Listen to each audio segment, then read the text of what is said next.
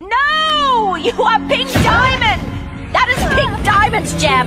You do not look like this! You do not sound like this! You are not half human! You're just acting like a child! I am a child. What's your excuse?